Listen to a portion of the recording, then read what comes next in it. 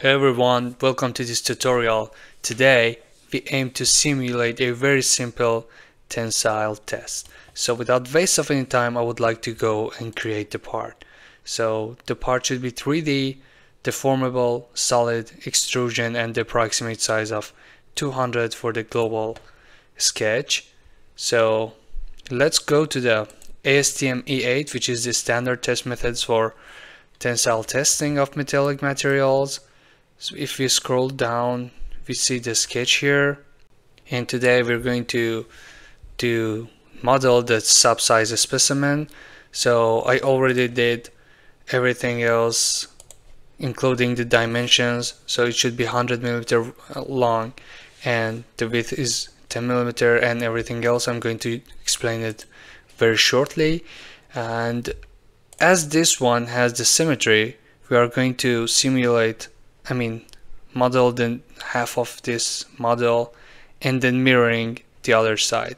So let's jump to it. Here we're going to create the very first part which is the top part. This guy should be 10 millimeter and these two should be 30 millimeters. So the next thing to do is to create two parallel lines here. And the uh, distance between them is 6 millimeter but keep in mind their distance from either side is 2 millimeter. So we're good to create this one. And from this feature we can create the arc. So this is the arc here. And keep in mind you have to select this part first then connect it to this part. If you do that vice versa is not going to be right. So the very next thing we should do is to create a line in the center. So by creating the construction we can create a line here which we are going to mirror our model on. And by left clicking on this one and selecting the mirror we can copy our model to the other side. And here it says pick the mirror line. So we choose this line. And now it's time to select the entities by holding shift we can select everything and click on done. And as you see we have our model but before finishing the model we should put this number as 100 so everything is like the sketch we have. So we're good to go by clicking the scroll button of the mouse we can have the thickness of the sheet. Let's say one. There we go the model is ready. So there's something else we should do. As you see here there are a couple of lines that are not extruded through the model so we should fix them by by creating partition cell defined cutting plane we can use three points. And by using these three points we can create a partition. As you see here it goes through the model. By holding control alt and left click we can rotate the sample or we can use this one as you see this line is extruded. So I'm going to do that for the other two. By doing the same thing we, we are going to select this cell and three points this point this point and this point. So we have the partition here and we are going to select this one three points this one this one and this one then the last three points which is this one this one and this one. So the partition creation is done. As you see these parts are now are not going to cause any problem in the next steps next it's time to go to the property. From create material we create a material named steel. And from elastic elasticity elastic we use the Young modulus of Young modulus of 210,000 and Poisson's ratio of 0.33 so we just going to simulate a very simple elastic tensile specimen. We don't have plastic in this video but in the next one we are going to have the plasticity. And from here we we should create a section solid homogeneous. The materials is the material is steel. And we have to assign the section. Now it turns green and it means the section is assigned. So we can go to assembly and assembling our model. It should be independent. Click OK. What I'm going to do now is to translate the instance. So I'm try, um, selecting this instance click done and select this point and translating it to the center of the coordinate and click OK.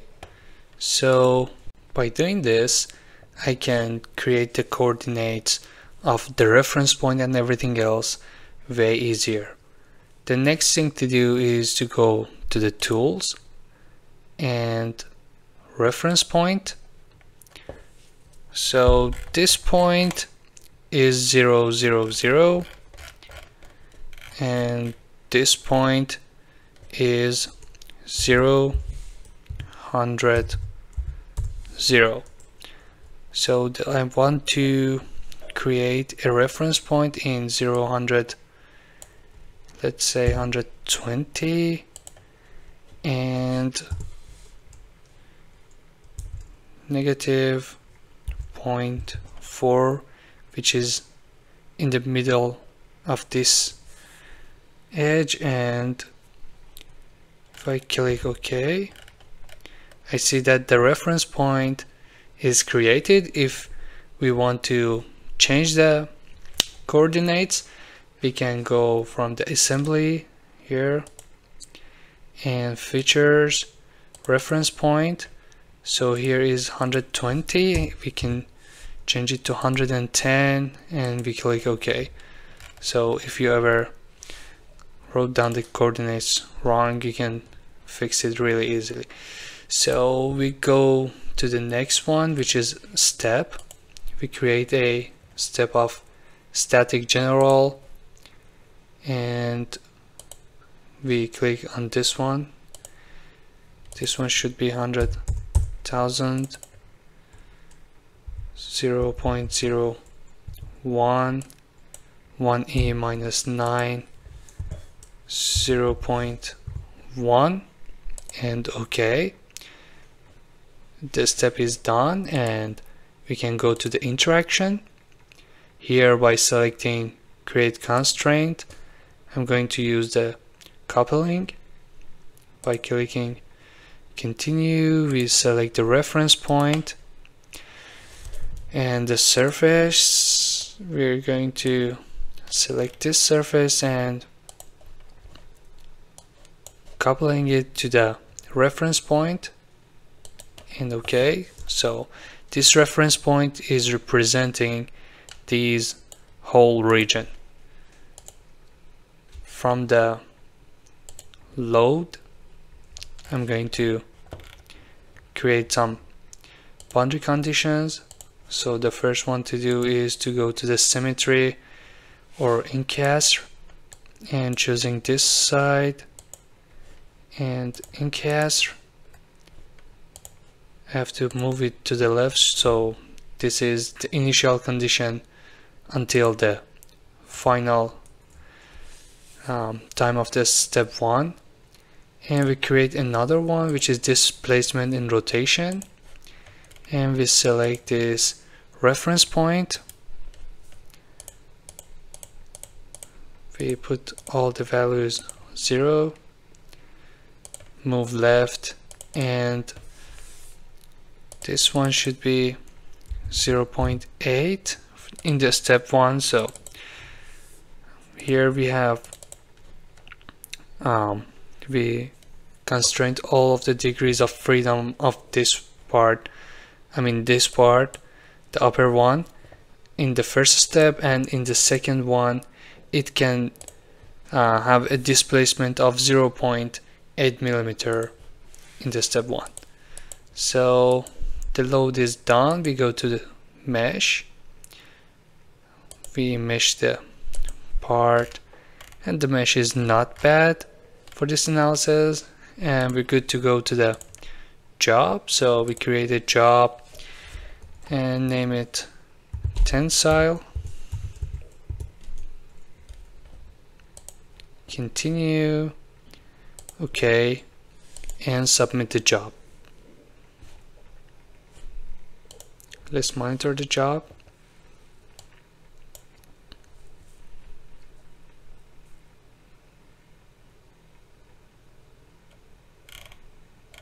as you see the job is completed. Now we can go and visualize the results. So here is the animation and it is displaced in the y direction for 0.8 millimeter. Now we can plot the stress strain curve for this one and from that we can calculate the elastic modulus. Now from the ODB field output we can go to this one. The position should be unique nodal and from the node sets we can use the constraint reference point. And from the variables we can select U2 and RF2 and we can have a plot. And from XY operate on XY data and combine. We use this one and this one. Then we can plot it. So here it is the force versus displacement in the elastic region. And you can copy the data or even you can from here you can select the stress or strain. So the strain should be here. So we can have a stress strain. If we double click on it uh, it should be the stress should be this one but it doesn't matter. You can work on your data if you want and that's everything. So if you enjoyed this tutorial please like and if you want to see similar videos subscribe to the channel